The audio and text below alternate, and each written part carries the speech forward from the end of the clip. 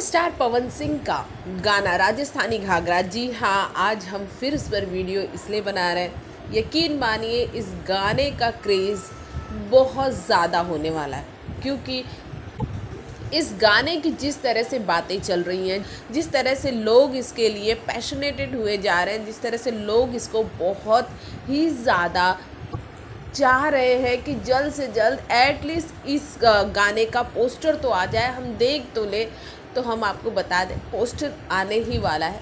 16 तारीख को। जी हाँ ऐसी खबर आ रही है कि 16 तारीख को कभी भी पोस्टर आ सकता है। मॉर्निंग इवनिंग कभी भी आ सकता है। साथ ही अगर पोस्टर 16 को आया तो आप ये समझ जाइए कि राजस्थानी घाघरा गाना उसके दो या तीन दिन बाद रिलीज़ कर दिया जाएगा, लेकिन उसका ऑडियो सॉन्ग ही रिलीज़ होगा।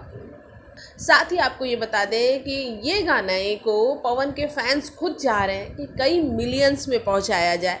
और इस गाने के बोल भी बहुत अच्छे हैं और इस गाने के बोल भी लीक भी हुए हैं। साथ ही आपको इसके बारे में एक और इन्फॉर्मेशन दे देते हैं। इस गाने को लेकर भोजपुरी के अमूमन सभी फैंस चाहे वो खेसारी के हों, पवन के हो, या रितेश के हों, या निरहुआ के हों, सभी सभी काफ़ी एक्साइटेड हैं।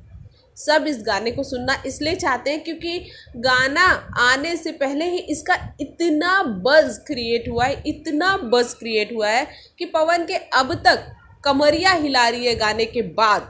पवन के इस गाने का बज़ बहुत ज़्यादा क्रिएट हुआ है और होना भी चाहिए।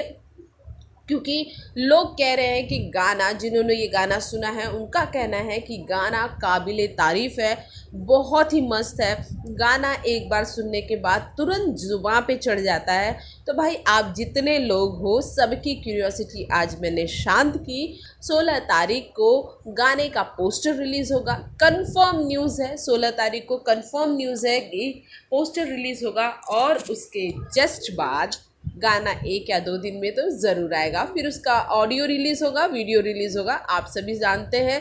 भोजपुरी इंडस्ट्री में पहले ऑडियो रिलीज़ होता है फिर वीडियो रिलीज़ होता है। सो so, जितने लोग हैं स्पेशल भोजपुरी को देख रहे हैं सभी खुश हो जाइए क्योंकि 16 तारीख को फाइनल डेट आ चुकी है राजस्थानी घाघरा का रिलीज़ हो रहा है पोस्टर भोजपुरी जगत की हॉट और मसालेदार गॉसिप के लिए हमें सब्सक्राइब करना बिल्कुल न भूलें।